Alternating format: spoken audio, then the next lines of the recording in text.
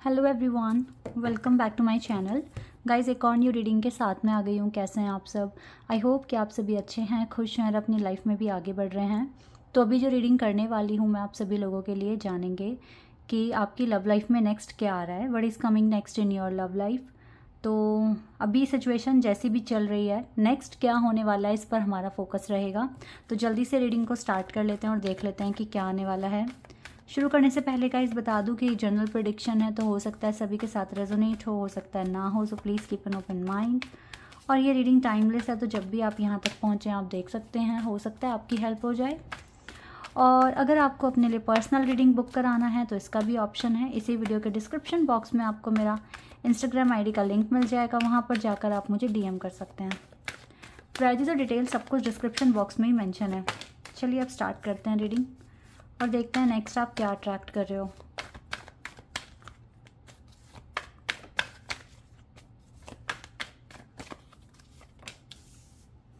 Eight of swords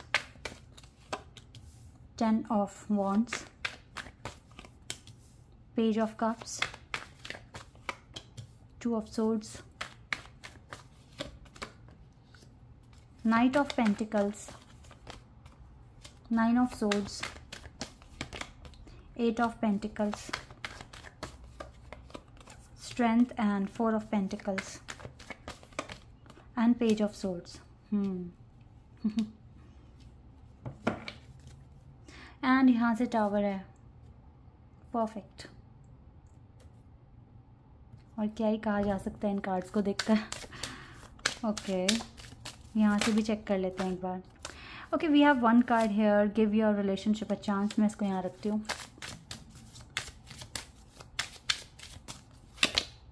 for giving and learning एक और ले लेते हैं card for giving and learning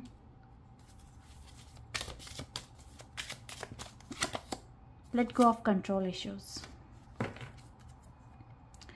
ठीक है, ये कुछ कार्ड्स आए हैं आपके लिए.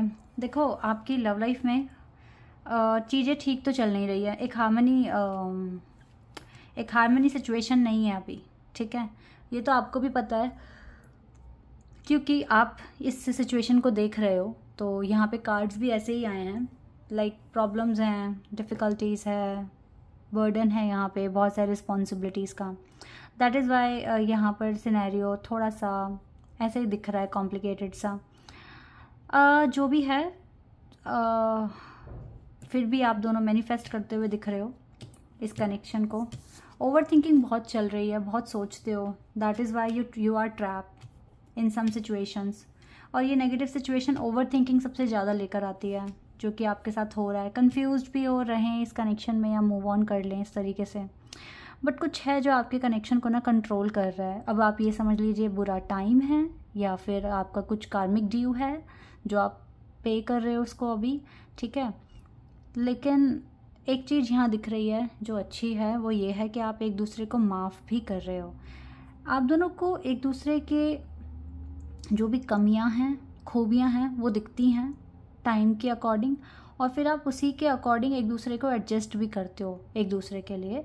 तो ये प्रोसेस इतना आसान नहीं होता कि एक दूसरे को एक दूसरे के लिए एडजस्ट कर रहे हैं। इसमें टाइम लगता है, ठीक है? वो एनर्जी बनने में टाइम लगता है. दैट इज़ वाई माफ़ कर लेते हो, सीख लेते हो कुछ ना कुछ एक दूसरे से और फिर इस कनेक्शन को चांस दे देते हो. तो प्रोसेस तो चल ही रहा है आपका, लेकिन अभी हारमनी सिचुएशन स्टेज नहीं आई है. हो सकता है पहले आई हो बट अब तो नहीं है. इस टाइम तो नहीं नहीं दिख रही है. तो नेक्स्ट जो भी है, आप दोनों एक दूसरे को माफ़ कर कर आगे ही बढ़ोगे कनेक्शन को चांस दोगे. और जो भी कंट्रोल करता है ना आपके कनेक्शन को, वो नेचुरली ही सॉल्व होंगी चीज़ें। आपके फोर्स करने से कुछ नहीं होने वाला, ठीक।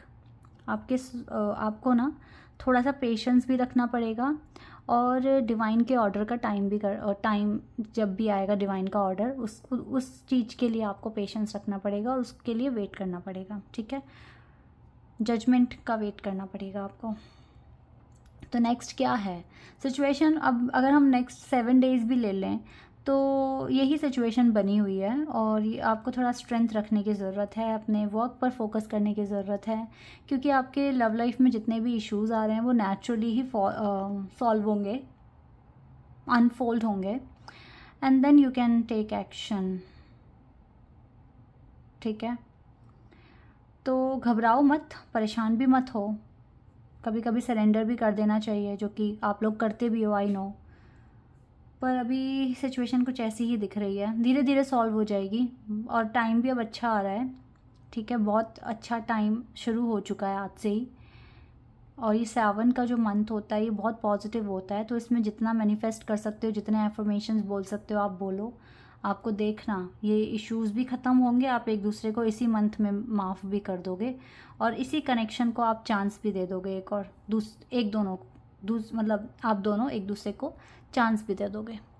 ठीक है कि हमें इस कनेक्शन में आगे बढ़ना है, हमें सब कुछ ठीक करना है, इस तरीके से। तो आप पेशेंस रख कर मैनिफेस्ट करो एफर्मेशंस बोलो, अपने वर्क पर फोकस रखो। ये सारे काम कीजिए आप। या spiritual maturity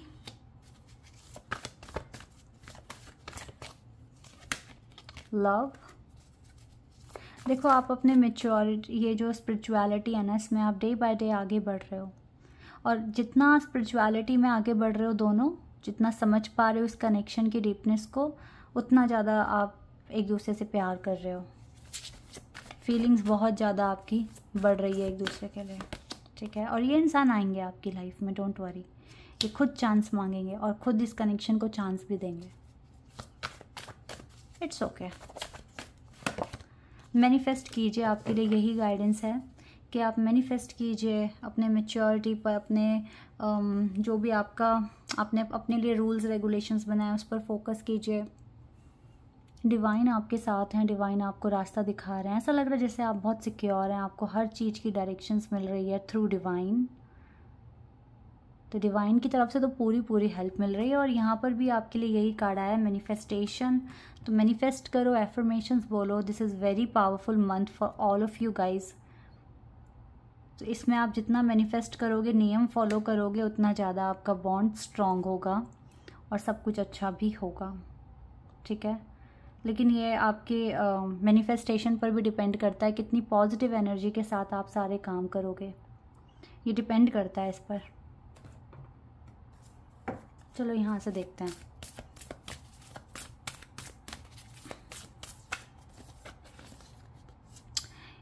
Don't let your past hold you back past में मत जियो प्रेजेंट में एक्शन लो और फ्यूचर के बारे में प्लानिंग करो। Be bold and make the first move time for healing ये मंथ हीलिंग के लिए बहुत अच्छा है। सरेंडर कर दो वो सारी नेगेटिविटी जो आपको परेशान करती है।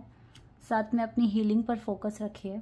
ठीक है? अपने मैनिफेस्टेशन पर फोकस रखिए। बोल्ड बनिए कि यस जो आप मैनिफेस्ट कर रहे हो वो आपको मिलकर ही रहेगा। और पास्ट की चीज़ों को लेट गो करना शुरू कर दो। ठीक है? जितना ज़्यादा लेट गो करोगे, उतना अच्छा रहेगा। यहाँ से देखते हैं स्टार सीड्स कार्ड से यहाँ से क्या आता है आपके लिए।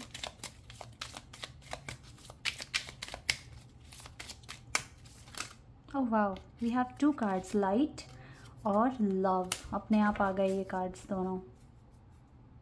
और यहाँ से ट्रुथ का कार्ड है. Light it is time to reveal your radiant light to the world ये जो लाइट का कार्ड है ना अच्छा हम इस पर एक बार पिक्चर भी देखते हैं. वाह कितना ब्यूटीफुल है ना? और देखो, कितना बड़ा स्टार है, बाकी छोटे छोटे स्टार हैं. लव में भी हमें एक बड़ा स्टार और एक छोटा स्टार दिख रहा है और कितनी पॉजिटिव एनर्जी दिख रही है इस कार्ड में। और ट्रुथ में भी बहुत सुंदर एनर्जी है। Green blue colour white colour pink colour का कॉम्बिनेशन है। बहुत सुंदर कार्ड है ये।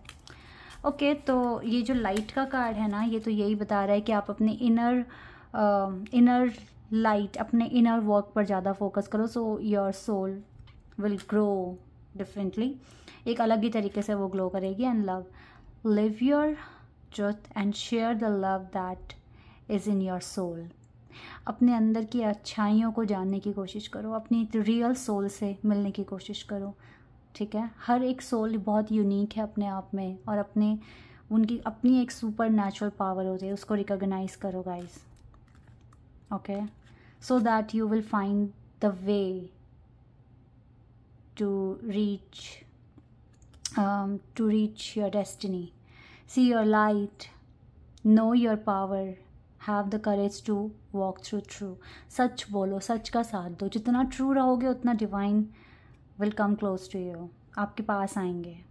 ठीक है?